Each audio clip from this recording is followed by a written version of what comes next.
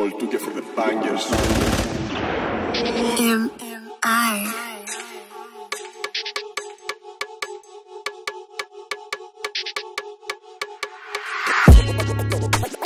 Nobody stopping this.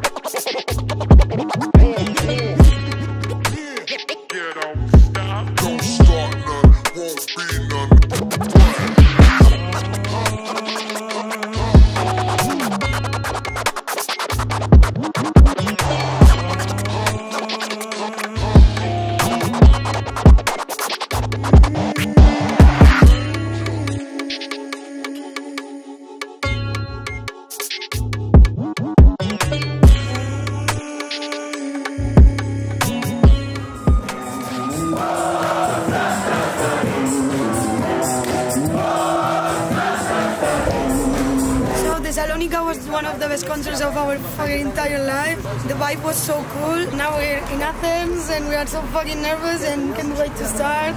Ooh.